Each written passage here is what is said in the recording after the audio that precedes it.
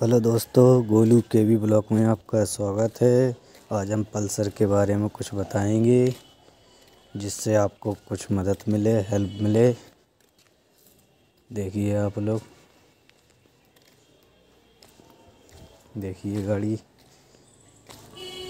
इस बटन के बारे में कुछ बताएँगे आपको, जो बहुत अच्छी जानकारी है, पसंद आए। वीडियो अच्छा लगे लाइक शेयर और सब्सक्राइब ज़रूर करें।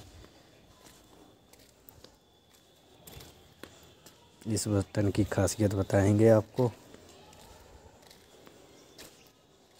देखिए पहले आप लोग।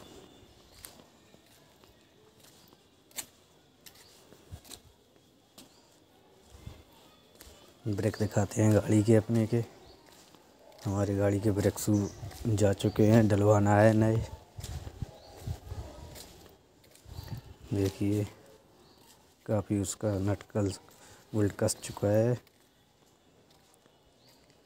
इस बटन को कभी भी आप गाड़ी चला के आएँ तो इस, इसी से बंद करें।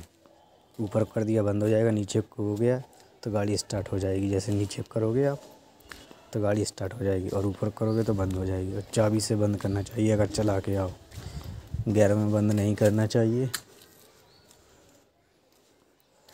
में बंद करने से आपको दिखाते हैं, चैन स्पॉकर पर असर पड़ता है। चैन स्पॉकर जल्दी जाता है, झटका देने से, क्लच, बेर बेर छोड़ने से, झटके से। और क्लच प्लेट भी ख़राब होने का डर रहता है जल्दी। देखिए, क्लच आप झटके से छोड़ोगे तो क्लच प्लेट जाने का डर रहता है।